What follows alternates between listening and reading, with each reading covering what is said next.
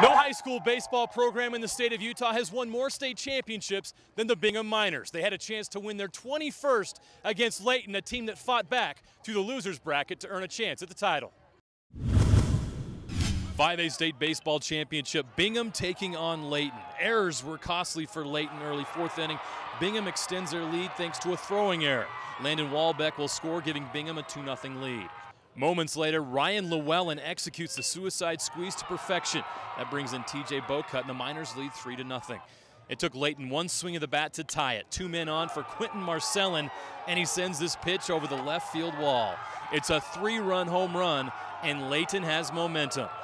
Sixth inning, Layton's Caleb Harrop rips a double down the third base line.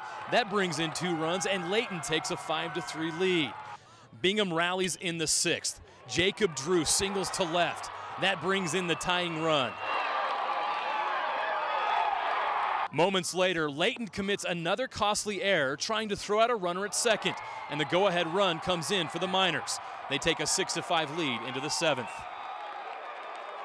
Last chance for Layton, a runner on second, but they can't bring him home. A dribble to first, the tag is made, and Bingham has done it again. The Miners win the 5A state baseball championship, their second in three years. Cloud nine. I feel absolutely incredible. On the bottom of that dog pile, I didn't feel anything actually. I might have broken my leg, but I could. I'm all right for right now. So. These guys, they're my best friends. You know, we had a lot to play for this year, and it was everything we'd ever dreamed of.